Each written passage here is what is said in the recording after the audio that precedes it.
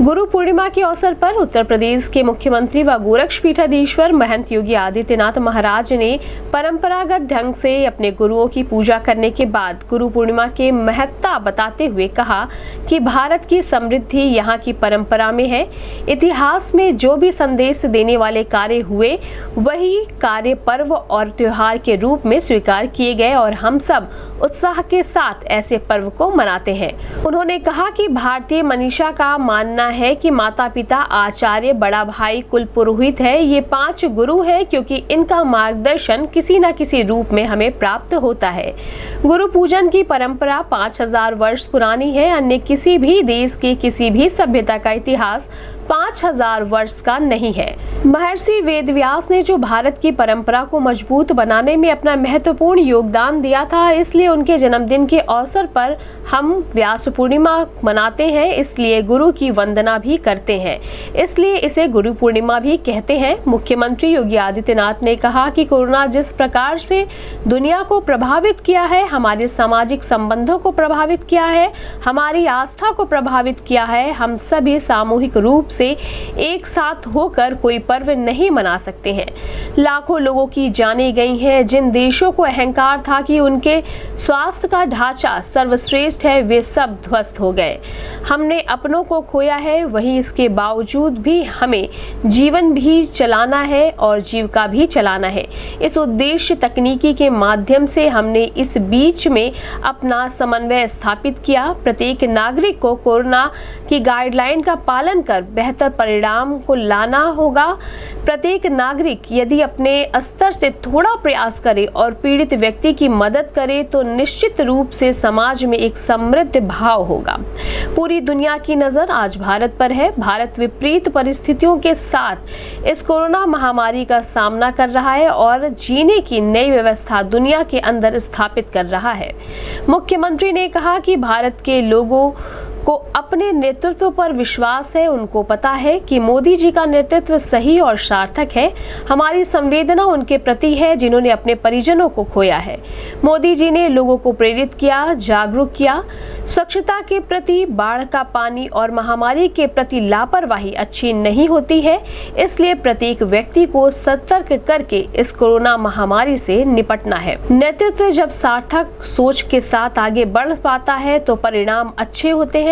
पहले वैक्सीन आने में वर्षों लग जाते थे, लेकिन इस सदी के सबसे बड़ी महामारी में भारत ने दो वैक्सीन दिया और वैक्सीन फ्री में लोगों को मिल रहा है। गोरखपुर के इस पूर्वांचल के इलाके में 1977 से 2017 तक बच्चे मस्तिष्क ज्वर से काल कलवित हो जाया करते थे, परंतु चार वर्षों में थोड़ा सा प्रयास हुआ, मस्तिष्क ज्वर से मौतें ना के बराबर हो गईं, जो 40 वर्षों में नहीं हुआ। इस मौके पर प्रोफेसर यूपी सिंह ने विषय की प्रस्तावना रखते हुए गुरु की महिमा का वर्णन किया तथा संचालन डॉक्टर अरविंद कुमार चतुर्वेदी ने किया। इस अवसर पर प्रधान पुजारी योगी कमलनाथ, देवी पाटन के महंत मिथिलेश नाथ, कालीबाड़ी के महंत रविन्द्र दास, गोरखपुर के प्रभारी मंत्री रमापति शास्त्री, क्षेत्रीय अध्यक्ष डॉक्टर धर्मेंद्र सिंह, प्रदेश महामंत्री अनुप गुप्ता, व्यापारी कल्याण बोर्ड के उपाध्यक्ष पुष्प दंत जैन, उत्तर प्रदेश कोऑपरेटिव बैंक के उपाध्यक्ष जितेंद्र बहादुर सिंह, खजनी की ब्लॉक प्रमुख अंशु सिंह, महानगर अध्यक्ष राजेश गुप्ता, जिला अध्यक्ष Yudhishthir Singh, Kameshwar Singh, engineer P K Mal, Arunesh शाही, रमेश सिंह, हनुमान सिंह बघेल, धीरज सिंह, हरीश सहित प्रमुख लोग मौजूद रहे।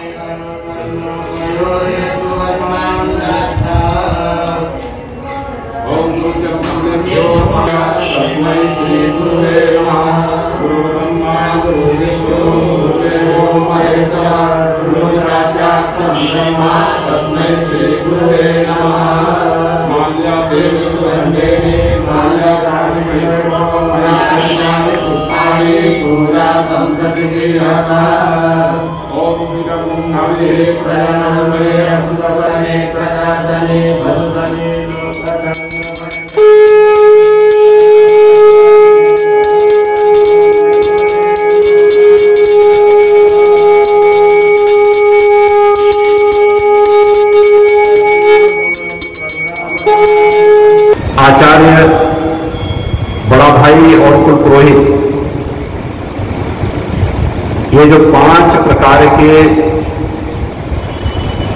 लोग हैं इन्हें हम गुरु और ये सभी कल्याण के कारक बनते हैं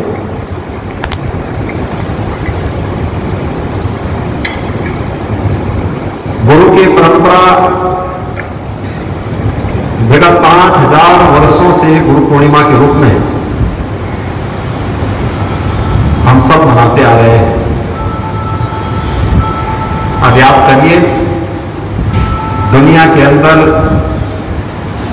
क्या किसी सभ्यता और संस्कृति के पास पाँच हज़ार वर्षों का लिखित इतिहास है?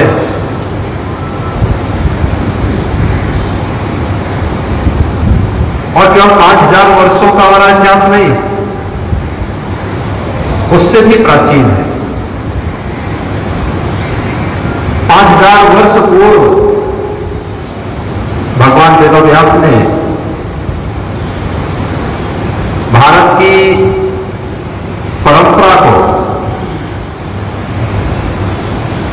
जो दिशा दी उनके प्रति कृतज्ञता ज्ञापित करने का यह पर्व है व्यास पूर्णिमा की तिथि गुरु पूर्णिमा के रूप में।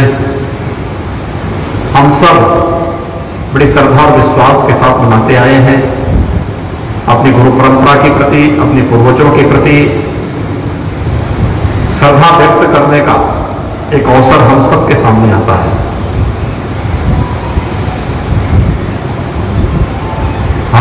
रहे हैं कि पिछले एक साल, सवा साल तो डेढ़ साल से पूरा देश और पूरी दुनिया जिस त्रासदी का सामना कर रही है, इस कोरोना महामारी ने पूरी व्यवस्था को कैसे प्रभावित किया है कि किसी से छिपा हुआ नहीं है?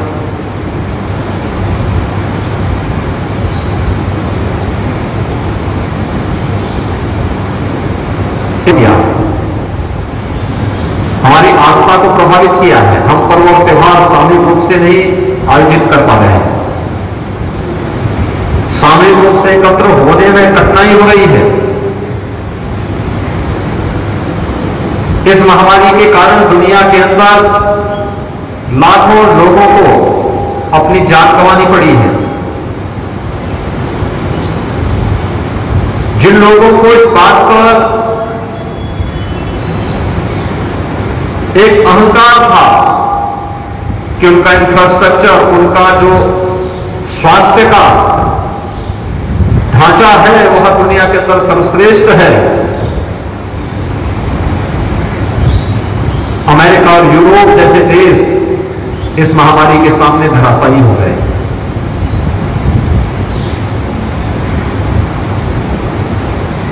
लेकिन मनुष्य है अगर जीवन है तो उसमें जीवंतता होनी ही चाहिए। जीने की जिज्विसा होनी ही चाहिए। और उस जीवन की उस जीवंतता को, उस जिज्विसा को आगे बढ़ाने के लिए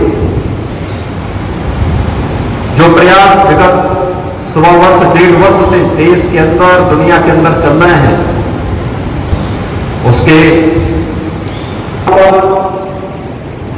आस्था पर बड़ा असर पड़ा पर्व त्योहार सामूहिक रूप से हम नहीं मना पा रहे थे मानवीय कार्य पर असर पड़ा